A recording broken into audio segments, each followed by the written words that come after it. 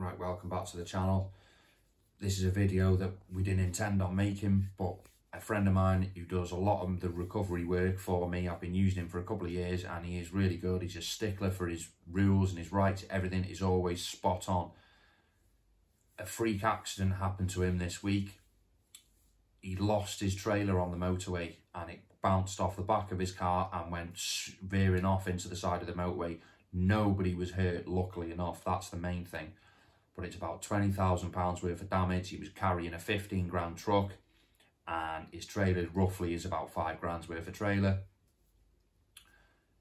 If you know anyone that does trailer work, because I do trailer towing myself, and it's an eye-opener of how things can go wrong and to always double check that everything is on and hooked up and connected.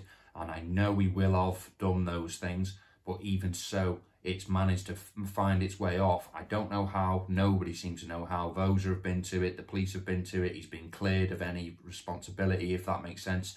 There was no driver error involved. Everyone's been happy to look because he films and records everything for his own personal safety. So he's got his dash cam footage. He's also got footage and pictures of it hooked on before he set off.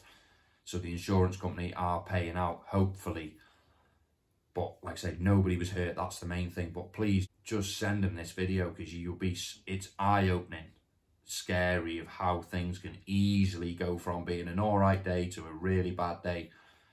He's shook up. He's not even sure if he wants to continue doing recovery anymore, which is a shame because he's really good at his job and he's only just starting out. He's a one man band. But wow, eye opening. So I'll upload the video now and you can all have a watch and see what you think. And drop us a like and a subscribe and drop us a comment and see what you think and if you think you know what's gone wrong. Thanks very much for watching.